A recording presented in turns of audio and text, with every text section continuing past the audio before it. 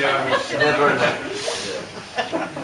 night as I lay dreaming of pleasant days gone by, my mind being bent on rambling to Ireland I did fly.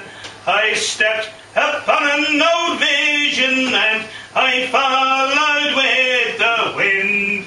When next I came to anchor at the cross at Spancil Hill, in on the 23rd of June, the day before the fair, oh, when island sons and daughters and friends assembled there, the old, the young, the brave and the show their duty to fulfill at the parish at Clooney, yet a mile from Spancil Hill. I went to see my neighbours, to see what they might say.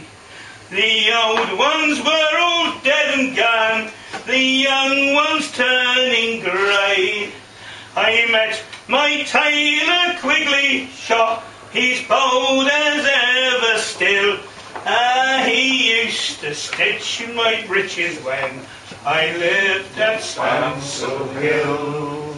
I paid a flying visit then to my first and only love. She's as white as any old lily and gentle as a dove. She drew her arms around me, saying, Shepherd, I love She's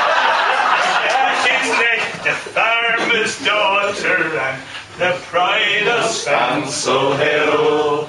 I dreamt I held and kissed her, as in the days of yore. She said, Shepherd, you're only joking, like many times before.